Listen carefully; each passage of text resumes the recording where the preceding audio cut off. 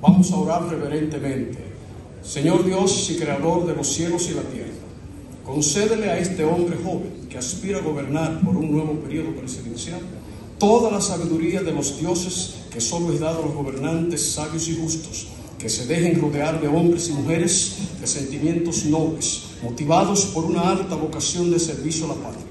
Hombres y mujeres íntegros que inspiren confianza, hombres y mujeres que sean tan leales a la verdad como la brújula al polo, hombres y mujeres que se mantengan de parte de la justicia, aunque se desplomen los cielos o se hunda la tierra, funcionarios comprometidos con su visión presidencial, arropados del coraje y el valor que requiere servir con honestidad y transparencia.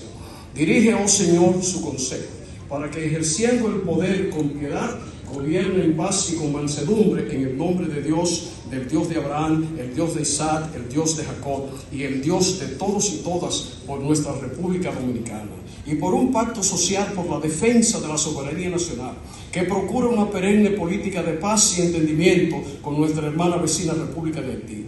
Presidente Abinader, que el Señor te fortalezca y te bendiga para que puedas ser fiel a la esperanza del pueblo dominicano en el nombre de nuestro Señor Jesucristo. Amén.